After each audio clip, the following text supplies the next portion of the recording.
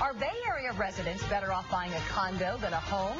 We break down those numbers and you may be surprised. But Good news tonight for the local economy. Smith and Associates tell us that most of the new condo buildings throughout the Bay Area are starting to sell vacancies again. In January, condo sales were up 28% over the same time last year. And tomorrow, 25 condominiums in downtown Clearwater are going on the auction block at a fraction of the price. Here's 10 News reporter Laura Kadechka.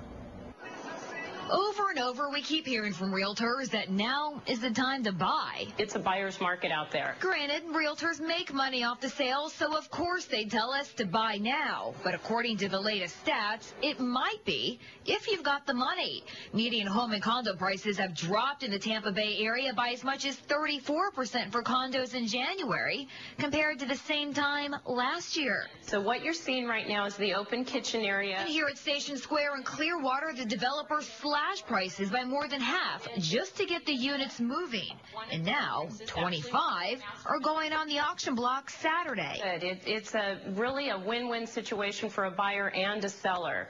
You know, they have this, they have a little more inventory than what was expected due to the market. The bids start at $50,000 for the smallest unit at 775 square feet to $225,000 for a penthouse that once had an asking price of more than a million bucks. Bids that have some current donors doing a double take.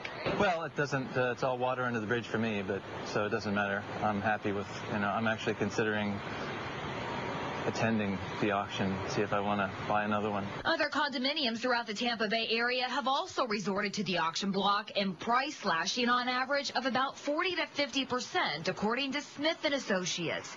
And that's to get the units moving. I think it tells us that the market is going to come back around because this is what starts the market again. In Clearwater, Laura Kadechka, 10 News. Now, in order to bid, you've got to register and bring a $2,500 cashier's check. Find out more at WTSP.com.